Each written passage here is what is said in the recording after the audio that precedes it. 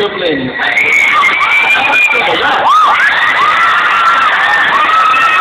Who you think is most like a character? Just say like a rip off his top to, you know, aid at least. Would you?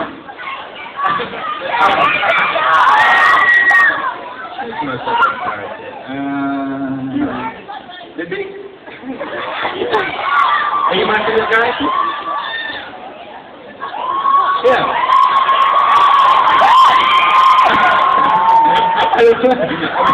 I guess, uh, yeah, well, family, family Taylor. I think I'm just great acting. right, definitely. It's really.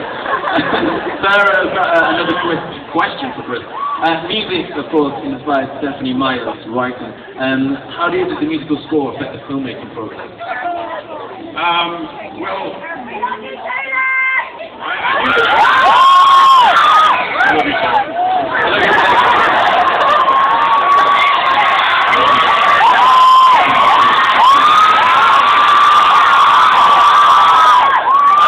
I think that's not a good answer to the gentleman.